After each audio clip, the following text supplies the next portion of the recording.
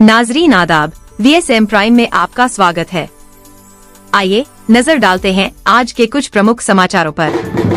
देवलगांव राजा से हमारे संवाददाता सैयद गफूर की खास रिपोर्ट लेकर आए हैं। देवलगांव राजा शहर में गणेश विसर्जन की तैयारियाँ जोरों पर हैं। हर साल की तरह इस साल भी गणपति बप्पा को विदाई देने के लिए शहर के मासूम बच्चों में खुशियों की लहर दौड़ पड़ी।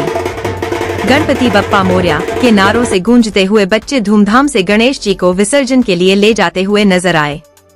इस बार 17 सितंबर की दोपहर से गणेश विसर्जन की शुरुआत हुई। देवलगांव राजा नगर पालिका ने हर साल की तरह इस बार भी आमना नदी के कुएँ में गणेश विसर्जन का इंतज़ाम किया। सुबह छह बजे से ही नगर पालिका के कर्मचारियों ने पूरे शहर में साफ़ सफ़ाई का काम शुरू कर दिया ताकि गणेश विसर्जन में कोई कमी न हो। इसके साथ ही देवलगाम राजा पुलिस प्रशासन ने भी गणेश विसर्जन को सुरक्षित और शांतिपूर्ण बनाने के लिए पूरी तैयारियाँ की। उनकी मदद से विसर्जन का कार्यक्रम बिना किसी परेशानी के सफलतापूर्वक संपन्न हुआ। शहर में अमन और शांति के साथ 17 सितंबर को गणेश विसर्जन का समापन हुआ, जहाँ हर कोई खुशियों से झूमता और बप्पा को अगले साल फिर से आने का न्योता देता नज़र आया।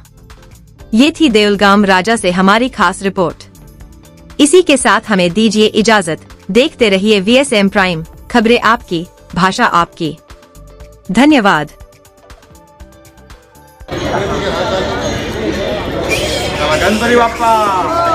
पुढच्या वर्षी